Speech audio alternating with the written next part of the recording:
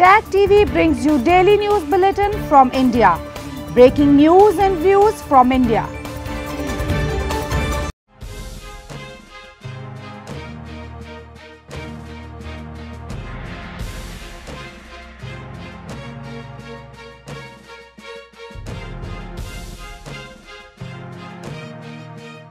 Good evening. Welcome to South Asia Newsline. I'm Yeshi Chonsom.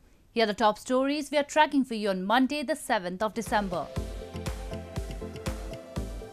India's opposition parties lend support to farmers protesting against farm laws. Pakistan's coronavirus positivity rate hits 9.71% as cases continue to rise. And Nepal's Prime Minister Oli skips crucial NCP meeting over differences with co-chair Dahal. And now for all the details. Major political parties in India on Monday stepped in support of the ongoing protest by farmers across the country against three recently passed farm laws. A nationwide shutdown has been called by the protesting farmers on December 8 as five rounds of talks between the government and farmer leaders have remained inconclusive. Major opposition political parties in India on Monday stepped in support of the ongoing farmers' protest across the country against three recently passed farm laws. Samajwadi Party chief Akhilesh Yadav was detained after he launched a sit-in protest outside his residence in northern Lucknow city before being stopped from going to Kannauj to lead a protest against the farm laws. Meanwhile, Delhi Chief Minister Arvind Kejriwal visited Singhu border, one of the sites at Delhi's borders where thousands of farmers are camping to protest against the farm laws, which they fear will eventually dismantle India's regulated markets and stop the government from buying produce at guaranteed prices, leaving them at the mercy of private buyers. Aam Aadmi Party chief Arvind Kejriwal is also among the several opposition leaders who have extended support for call for Bharat Bandh or nationwide shutdown by farmers on Tuesday. कल जो किसानों ने आठ तारीख को भारत बंद का आह्वान किया है, आम आदमी पार्टी पूरी तरह से उसका समर्थन करती है और सारे कार्यकर्ता हमारे इसमें पार्टिसिपेट करेंगे पूरे देश भर में और मैं उम्मीद करता हूँ कि पूरे शांतिपूर्ण तरीके से पूरे देश के अंदर सब लोग इसमें शामिल हों मैं Meanwhile, India's Law Minister Ravi Shankar Prasad on Monday slammed the opposition parties, especially the Congress, for protesting against the agricultural laws and said that allowing private players into the sector was their demand once. Five rounds of talks between the farmers and the federal government have failed to break the deadlock. Another round of discussions is scheduled to be held on December 9. India on Monday detected 32,981 new COVID 19 cases in the past 24 hours, taking the country's overall tally to over 9.6 million. As the virus continued to infect people and take their lives, the first indigenous company of India, the Serum Institute, is seeking permission for emergency use for its Oxford COVID 19 Covishield vaccine. The Pune based institute is still conducting its phase 3 trials across India. India on Monday recorded 32,981 new COVID-19 cases in the past 24 hours, taking the country's overall tally to over 9.6 million and with 391 new fatalities, the death toll has mounted to 140,573. Citing unmet medical needs amid the rising infection cases and in the interest of the public at large, Serum Institute of India, the world's largest vaccine producer by volume, has sought emergency use authorization in the country for its Covishield vaccine. Adar Poonawalla, the CEO of Serum Institute, taking to Twitter on Sunday said, as promised, before the end of 2020, Serum Institute of India has applied for emergency use authorization for the first made in India vaccine, Covishield. He asserted this will save countless lives. This comes as Indian Prime Minister Narendra Modi himself has been reviewing the vaccine developmental work and its manufacturing facility at the Serum Institute. Apart from the Serum Institute, Pfizer India, the first pharmaceutical firm in the country, is also seeking permission to import its COVID vaccine for sale in India. As Pakistan struggles to contain the second wave of infections with the positivity rate recorded at 9.71%, the country's coronavirus cases rose by 3,795 in the past 24 hours, taking the total tally to 420,294 on Monday. With the pandemic getting worse, the government has placed fresh restrictions across the country to prevent the spread of the virus. Pakistan's coronavirus cases rose by 3,795 in the past 24 hours, raising the tally to 420,294 data issued by the National Command and Operations Center showed on Monday as the country struggles to contain the second wave of infections. For the first time in five months, the Pakistan's case positivity rate climbed to 9.7 percent. The country has a recovery rate of over 84% since the outbreak surfaced in February this year. With the COVID 19 pandemic progressively getting worse in Pakistan, the government has placed fresh restrictions across the country to prevent the spread of the virus during its second wave. However, locals in Karachi city said that curtailing the time will not be effective, but government should make people follow SOPs. हुकूमत को चाहिए, उनको बोल दे कि भाई हम आपको free hand है। जितना टाइम आपके पास है, आप अपना मास्क लगाएँ, बच्चों के साथ अगर निकल रहे हैं, ज़रूरी तो मास्क लगाएँ। बाकी ये आठ बजे छः बजे दुकानें बंद कराने से कुछ नहीं होगा मेरे भाई। हाँ बेहतर ये है कि आप एस ओ पी पे फॉलो कराएँ, वो बेहतर है।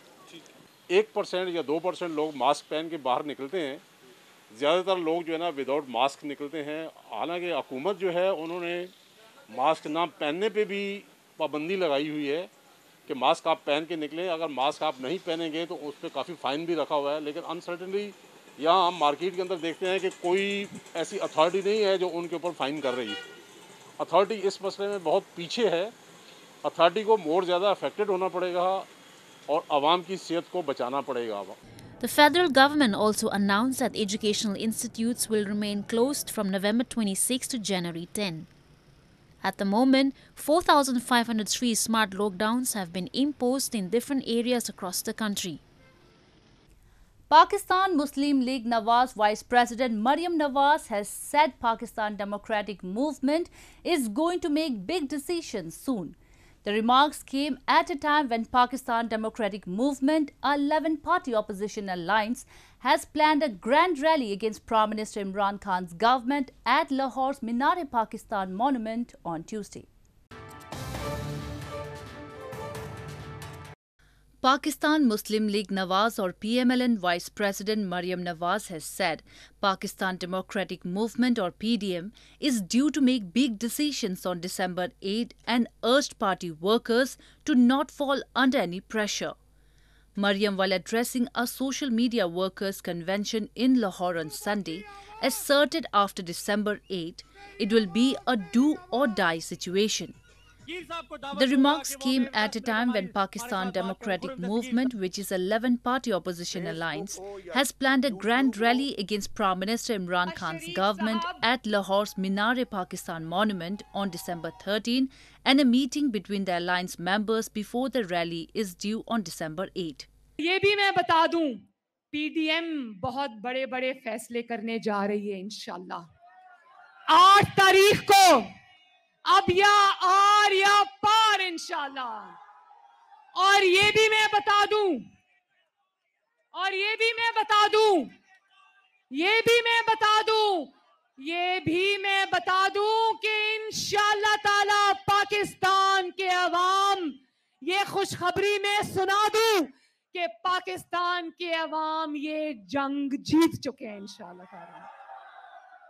सिर्फ़ तेरह के जलसे में लाहौर में फतह का ऐलान होना बाकी है Although Pakistan Prime Minister Imran Khan has said that the opposition alliance will not be prevented from holding the December 30 rally, he however vowed that cases will be registered against all organizers and facilitators of the rally as large gatherings are in violation of coronavirus safety protocols.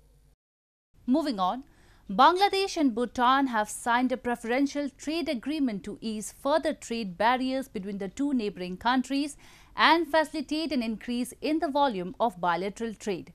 Bangladeshi Commerce Minister Tipu Munshi and Lyonpo Loknath Sharma, Bhutanese Economic Affairs Minister on Sunday signed the agreement on behalf of their respective governments in Dhaka. Bangladeshi Prime Minister Sheikh Hasina and her Bhutanese counterpart Lote Tsering witnessed the event and joined virtually the signing ceremony from Dhaka and Thimphu respectively. Bhutan is the first country to sign PTA with Bangladesh. Under the agreement, Bangladesh will enjoy duty benefit on export of 100 local products and Bhutan will enjoy duty benefit on its 34 products. In news from Nepal, Nepal's Prime Minister KP Sharma Oli, chair of the ruling Nepal Communist Party, on Sunday skipped the party's crucial standing committee meeting amid growing rift with co-chair Pushpa Kamal Dahal. Oli has accused Dahal of working towards the dissolution of the party. Nepal's Prime Minister KP Sharma Oli, one of the chairmen of the ruling Nepal Communist Party or NCP, on Sunday skipped the party's crucial standing committee meeting amid growing rift with co-chair Pushpa Kamal Dahal. In a letter, Oli reiterated his stance that Dahal should unconditionally withdraw his political proposal presented in November in which he criticized him for failing to properly run both the government and the party. Oli also accused Dahal of working towards the dissolution of the party. The next standing committee meeting has been scheduled for December 13, according to local media reports. Meanwhile, amid the ongoing rift in the ruling party, Nepal's capital city of Kathmandu saw one of the largest pro-monarchy demonstrations this past weekend since the establishment of democracy in 2006. Hundreds of Nepali citizens carried images of Emperor Prithvi Narayan Shah, the founding father of United Nepal, as they raised slogans against Prime Minister KP Sharma Oli-led federal government. And I think when when democratic forces uh, don't live up to expectations, uh, both the ruling and opposition parties, then then then it's inevitable that some alternate force will try to take their place. So uh, that is uh, that is how I see the revival of this protest. The demonstrators also demanded to declare Nepal as a Hindu state as opposed to current secular status granted by Constitution of Nepal enacted in the year 2015. A 25-year-old jeweler based in India's northern Meerut city has earned a place in the Guinness World Records for the most diamonds set in a ring. The floral-shaped ring called the Marigold, the Ring of Prosperity, is encrusted with 12,638 diamonds. Indian jewelers Renani Jewels based out of northern Meerut city have created a Guinness World Record for most diamond in a single ring. There are a total of 12,638 diamonds on the ring, dubbed as the Marigold the Ring of Prosperity and it weighs around 165 grams. Renani Jewels Managing Director Harshit Bansal said that all of the diamonds used on the ring were of the best qualities of diamond used in jewelry worldwide. It took the jewelers three years to conceptualize and design the record making ring. They used 38.08 carat natural diamonds for the ring. आज से ढाई साल पहले जब मैं jewellery का course कर रहा था सूरत में तब मेरे दिमाग में एक आइडिया आया कि मुझे एक रिंग बनाना है जिसके अंदर टेन थाउज़ेंड प्लस डायमंड्स लगाने हैं एक ही रिंग के अंदर। तो बस तभी से इसके पीछे मैंने कॉन्सेप्ट्स चालू कर दिए। उस टाइम मैं ज्वेलरी डिज़ाइनिंग सीख रहा था। तो बेसिकली मैंने कॉन्सेप्ट्स बनाए डिज़ाइनिंग की। उसके बाद धीरे धीरे चलता रहा। फैमिली का सपोर्ट मिला और ये काम हो गया। Guinness World Records website said the record was set on November 30. The previous record was set with 7,801 diamonds. Well, that's all we have for you from South Asia this evening. Now, our viewers can watch the show on SouthAsiaNewsline.com. You can also visit us on Facebook.com slash Newsline and follow us on Twitter at Asia Newsline. That's all in tonight's edition. We will see you same time tomorrow. Good night.